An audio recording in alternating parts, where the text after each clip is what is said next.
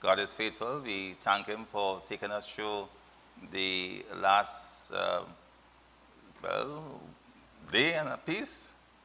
And we would trust Him. We would trust Him every step of the way. Remember, brethren, He has been here before. We just arrived in 2022. But He has the full picture. Been here throughout. From everlasting to everlasting, He is God. And we acknowledge this this morning. Father, we thank you as we continue, Lord, in our sharing, our eyes upon you. We know that you receive our worship this morning. We know you heard our prayers this morning. We know, God, that you are pleased. You are taking action. You wanted us to sing. You wanted us to bless you. You wanted us to talk to you and to cry out before you. And God, we trust you now as we come to your word that you will speak to us as you have done before. Our eyes now upon you in Christ's name. Amen. So we continue sharing on what we began on Old Year's Night, New Year's Day. Revelation is the seed for relationship, part two. Revelation is the seed for relationship, part two. And our text, 1 Timothy chapter 1, verse 12, reading the Amplified Version, the second part of verse 12. For I know, for I know him, and I am personally acquainted with him, whom I have believed with absolute trust and confidence in him and in the truth of his deity. And I am persuaded beyond any doubt that he is able to guard that which I have entrusted to him until that day when I stand before him. Amen. I just wanted to make the, the emphasis here, we wanted to place it on Paul's statement I know whom I have believed. Often we can, if we are speaking, sometimes we can tell you or say, I know what I believe. That is not Paul's emphasis here. It's not the what, it is the who. The who came from the what, but the who is so important for declaring in the atmosphere into the world. And here it is. This is the takeaway I want us to, to, to hold on to and to leave today in this series. I call it the series. I don't know yet. All right? But here's the takeaway from this sermon. You know the farmer. When the farmer lays his hand on good seed, the farmer becomes excited. And the farmer goes home to his land to sow that seed. That seed will produce a good crop. That's his expectation. But as he receives seed, what he thinks about is his land, his garden. Why? Because the farmer has a relationship with his land. The farmer has a relationship with his land. And so when he receives seed, he thinks about his land and he sows it in his land. And he goes every day to look at the land and to look at the seed because it is his delight. In like manner, brethren, the take home is this.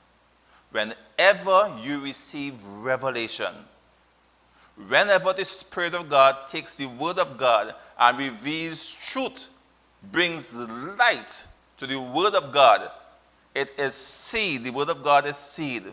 And seed comes to us, is exposed by the Spirit in revelation what we must do, like the farmer, sow it, it back to the Lord.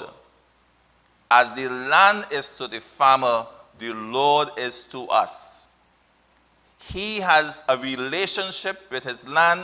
We have a relationship with God.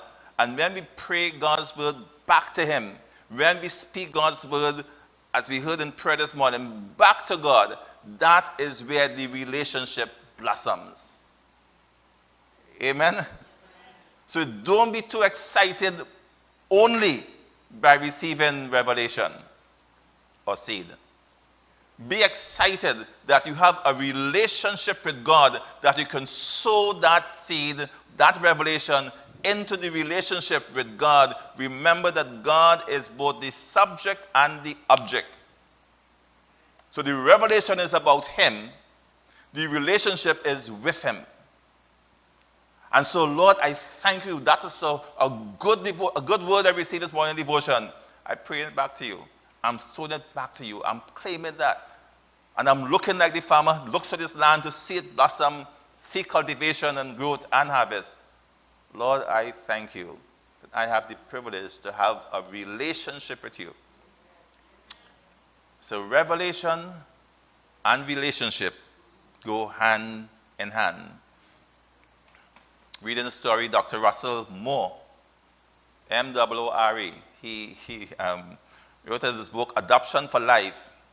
He described a scene he encountered at an orphan home in Russia. He went to the home and saw in the nursery silence. It's filled with babies, but they were all quiet. And he wondered how come these babies are so quiet. Later on, he discovered that the babies used to be crying. The nursery was the, a very loud and noisy place. But the babies stopped crying not that their need, they, don't have, they didn't have needs to be met, but they recognized that no one was taking them on. And so they stopped crying. And he was so perplexed by it, he wrote it in his book, Adoption for Life, ensuring that sometimes we believers act this way. Because we don't know a fresh and daily ongoing relationship with God. We believe that God is silent. We believe He's not hearing us. We believe that He does not care, and so we stop worshiping. We stop praying. We stop rejoicing. We stop talking about Him. We stop relationship. We stop life. But that is Satan's ploy and trick. God said in his word, it's Isaiah 50, I think, can a mother forget her suckling child, a nursing child? He said, even if she does, I will never leave you nor forsake you. I will always remember you because God is a God of relationship. From inception, from creation, we see God created man and God sought a relationship with Adam and Eve. Every day, God would come in the evening, the cool of the day, to do what? To talk, to chat with Adam. God is a relationship God. And He wants us to know we don't have to be like the children in that nursery, quiet, thinking God does not care. He loves us and He cares about us don't hold your silence. Cry out to Him. Believers who are confident in their relationship with God, they cry. They lament. They worship. They call upon God because they know that He is hearing. He is a relationship God. Remember in part one, I told you um, that's one of the lessons I learned from my wife the difference between revelation and relationship. The former speaks of the grace and beauty of the promises of God, the seed, the sperma of God. The latter, that is revelation, sorry, relationship, considers the amazing love and beauty of God Himself. God Himself. So as we continue in our sharing, understand that once we are receiving truth, once the Spirit of God is unveiling the word to us, and revelation is coming to us, we are to nurture it in relationship. It's all well and good to say, Pastor, that was a good word. In fact, you don't really say that anyway, so Even say to yourself, even say to yourself, don't keep it there. If you had a devotion this morning and said, Wow, Father, I, I, you're praying because, Lord, this really, really shocked me. Don't keep it there. Put it, invest it in Him, in relationship. One goes with the other. It's like the two sides of a coin. They are connected. It's a very dangerous thing to just be receiving revelation via devotions, by a, a book reading, by a, your Bible reading the scripture, by a sermons, conversations. It's a dangerous thing to just be receiving revelation and doing nothing about it.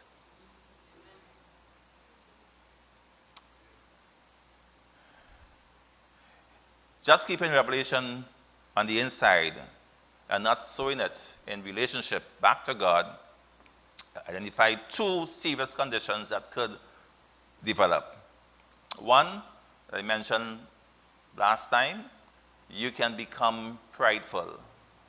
You can become prideful and indifferent.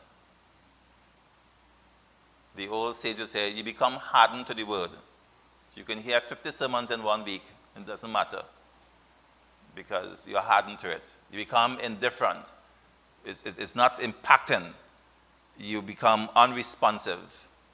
The second condition that could develop that you, become, you can become spiritually sick, even with the word. You can become spiritually sick. That is a good example. Well, I'm not sure it's a good example. The Dead Sea. Nothing really can live in the Dead Sea, really. Just as a, it's a certain type of bacteria that can exist in it. Fish can't go there, they can't live.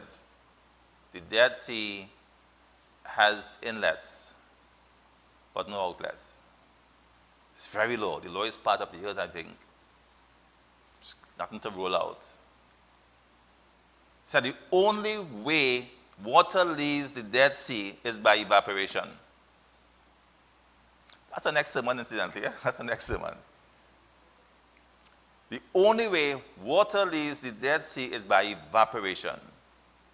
There is no outlet. In our context, we can say it is sick. Um, I, I, saw something on um, a program on TV, what it was. Had it was showing this sign. This, this is a beauty shop. They said what? It was life products from the Dead Sea.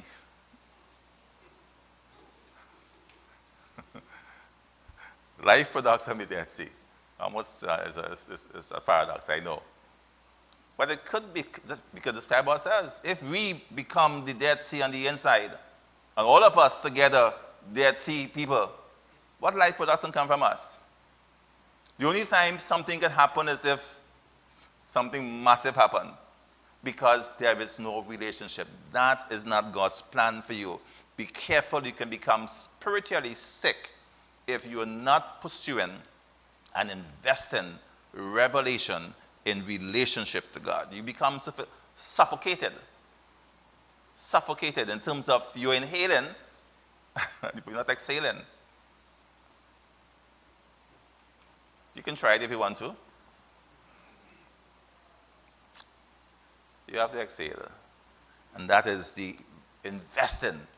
In John chapter 6, Jesus told um, the people, the multitude that was following him, he said, You're following me for food, miracle food. You are not following me for relationship. You really don't want to know me as your Savior and Lord. And an interesting conversation occurred between Jesus and the people. And you can read it. It's, some, it's chapter 6 of John, from verse 25. I have a couple of verses I want to read. They couldn't find him. He fed them, the five loaves and two fishes. Then he went with the disciples on the other side of the sea. And then they found him on the west side of the lake, sorry, and asked, Rabbi, when did you get here? Jesus answered, I tell you for certain that you're not looking for me because you're not looking for me because you saw the miracles but because you ate all the food you wanted. That's what you're looking for. You're on a mundane level. So don't work for food that spoils. Work for food that gives eternal life. The Son of Man will give you this food because God the Father has given him all the right to do so. What exactly does God want us to do? The people ask. Jesus answered, God wants you to have faith in the one he sends. They reply, What miracle will you work so that we can have faith in you? Just they had just had food. They just ate food. Now, that same chapter, incidentally. Now they ask him, What miracle will you work so that we can have faith in you? What will you do? For example, when our ancestors were in the desert, they were given manna to eat.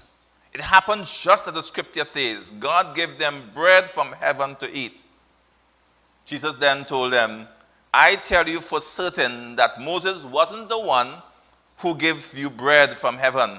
My Father is the one who gives you the true bread from heaven. And the bread that God gives is the one who came, referring to himself, the one who came down from heaven to give life to the world. The people said, Lord, give us this bread and don't ever stop. Jesus replied, I am the bread that gives life. Then the people, verse 41, the people started grumbling because Jesus had said he was the bread that had come down from heaven. They wanted physical bread. They want to eat. now you're saying that you are the bread? You play with our minds. We want food. Show us a miracle with more food and don't stop giving us food, just like the man in past times. Give us revelation. More and more revelation but we want no relationship with you. And that's what people said. That's what Jesus said, sorry, to the people. And he said, Who eat, if you eat, if you eat of me, shall have life.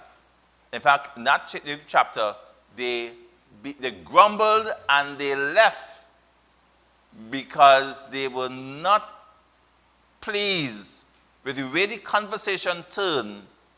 Christ turned that conversation to relationship but they wanted to just stay in the place of, we want more and more and more to eat, more and more to eat. And of course, I'm sure you can apply and see the spiritual context of this conversation.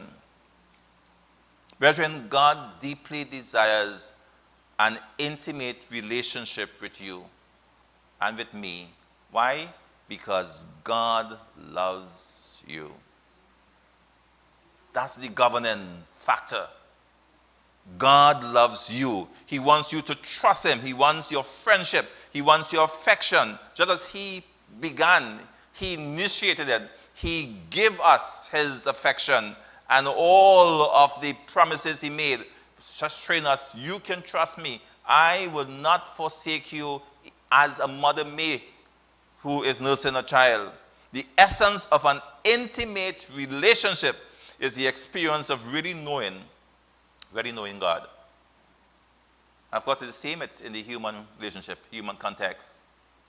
The essence of relationship in the human context is really knowing someone and being known by that by someone. If the if the if the revelation is not there, the relationship can't be there. And this is what God is saying to us. It is feeling very close to the other person because they know you, and they know you at a deep level, and you know that person also in a deep and personal level. All other relationship models are not relationships in the true sense. They are surface relationships. The Old English says superficial relationships, meaning surface. God does not want a superficial, a surface relationship with us a farmer would not have a superficial surface relationship with his, his land. He loves his land. And the best will be sowed in that land because of that relationship is so deep. He lives by it. If we live by God, if we live by communion with God, If we value the relationship we have with God, we will pursue. Every seed we receive, we will invest it right back to Him. The seed came from Him. He gives seed to the sower, the scripture says. So these, what I should say, good human relationships teach us much about God Himself and the relationship we can have with Him. The relationship He desires from us. So, what enables you to love someone and to develop that true um, intimate relationship with them? Well, there are many factors, but one of them, a key factor, is trust trust. All of the, vari- the, the, the variations inside there, that common denominator in all relationship is trust. You cannot have genuine, intimate relationship with someone who you don't trust. I think there's a movie, you know. husband and wife. In fact, there is a relationship. But they both would sleep with guns below the pillow, I think, on the side. You, you cinema goers, what's the name of that movie? Sorry? Mr. and Mrs. Smith. I know we could have Mr. and Mrs. Smith. No relationship. Yeah, they, they're connected, but they will shoot each other. That's how we go with God. We read His word, but we don't believe His word. There is no trust. Trust is the heart of an intimate relationship. If we say that we are in a relationship with God, we are also saying, I trust God and trust Him completely. Trust comes from knowing Him, knowing Him as a person. Trust comes from knowing that He is He's safe to be around. I feel safe in His presence. I can draw closer to Him in relationship because he will do me well. He's a trustworthy, faithful God. When trust is not there, when trust is compromised, the degree of intimacy evaporates. So at one time you were strong in faith, you were strong in your relationship with God. But when you feel that God disappointed you, or he didn't rescue you at a certain time. As someone said, don't let your faith be held hostage by some situation or some prayer outcome. God is trustworthy. And when we compromise trust, intimacy, or relationship evaporates. I need to run because time. But understand the value of trust, the importance of trust. In fact, when there's a relationship, in fact, you can sit by someone, right next to someone, and you, you, you, you, you feel distant. You know the person. Anywhere, in the office, some, some waiting room. But you could be far, uh, away from someone when there is relationship. You could be as far as 100 miles from someone and feel very close to them. And all the people say, and this is likened even to heaven. We are miles away from God who sits on his throne, and we can feel very close to him. Why? Because of relationship. He is in heaven. We are on earth physically, but we can feel very close to God because there is relationship. That when we take the Word of God and we embrace it tightly and show it back to Him in relationship, there is a kaleidoscope of beauty and worship and praise and trust that takes over our lives. There's a common mistake we have, and that common mistake is to think that relationship with God can be achieved through an accumulation of revelation. That is not so. You can feed and feed and feed and feed.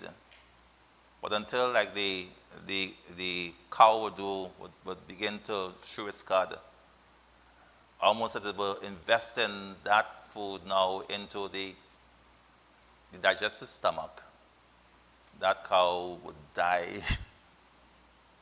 and so too, as we accumulate, as we receive revelation, don't put it on a shelf.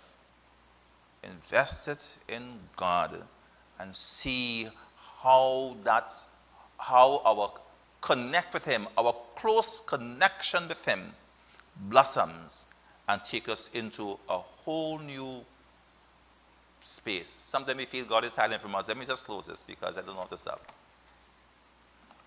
Some we feel as though God is hiding from us. We play hide and seek, and you can't, and there's somebody in that group who knows well how to hide, you can't find them. And you always wish that person could be in your team, not against you because you can't find them. Does that make you feel about God?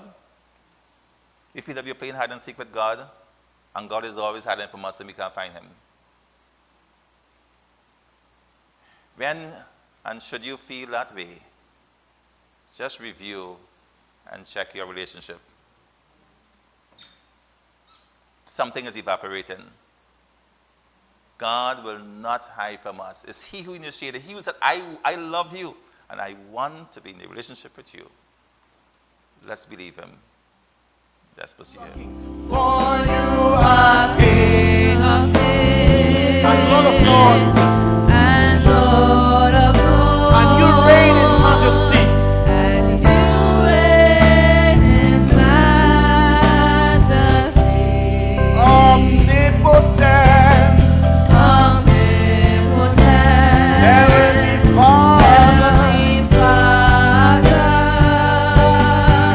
all things.